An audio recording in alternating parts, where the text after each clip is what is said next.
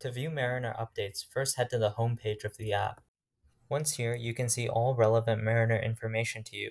In the top bar, by scrolling, you can see a list of vessels near to you. To view more information about a vessel, simply click on their icon.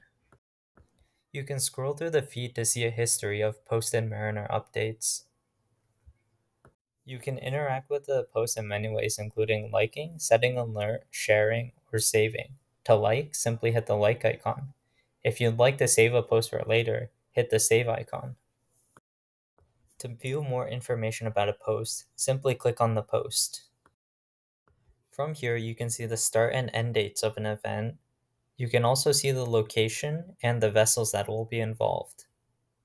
If you have any concerns, you can also view contact information of the people involved in this update.